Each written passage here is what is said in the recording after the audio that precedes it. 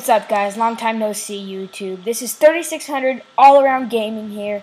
We're bringing you a Tekkit tutorial video, whatever you want to call it. Um, this is a long time kind of thing that I've been wanting to do.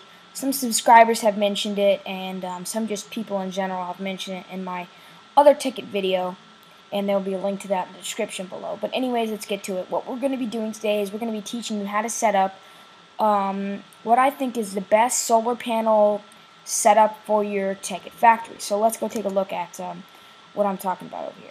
So this is what I think as the best Tekkit setup for your factory. It consists of 14 low voltage solar arrays, three bat boxes, and um, that's that's the setup. Now I just added a little bit of a model just so you could see how it fit into your factory. You basically just run the copper cable into all of your different machines that you would need.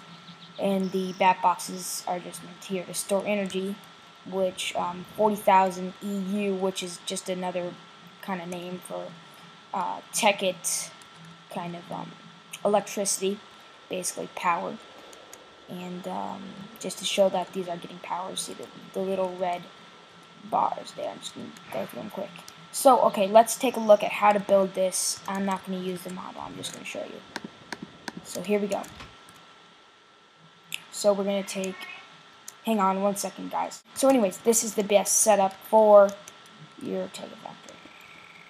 So, basically, you're just going to line four, five, six, seven up in a row. One, two, three, four, five, six, seven up in a row. And then right one block away from it, just seven again and 7 times 2 is obviously 14, so 14 in row there, and then you're just to hook up like that, like that, and then just drag them over here.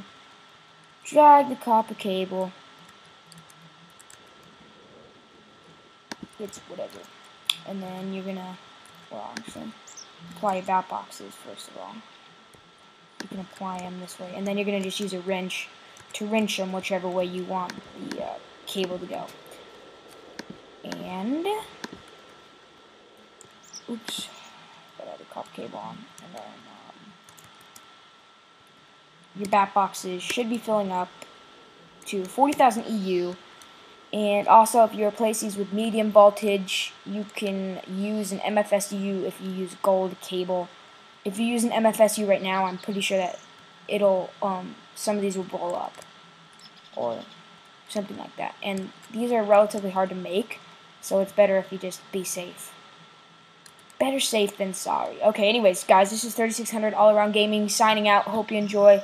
Rate, comment, subscribe, and um, suggest other videos because, like I said, this is a uh, someone who left a comment saying, "Hey, I want to know the best Tekkit setup for um, solar panels," and I said, "Okay, sure, I'll do a YouTube video on it quick as I can." G jumped on it, and um, here it is. So now you know that I actually look at comments and take people's suggestions, and so let that be um, a good idea for you to subscribe and um, have faith that I'm a dedicated YouTuber. So, thank you very much, guys. 3600 signing off.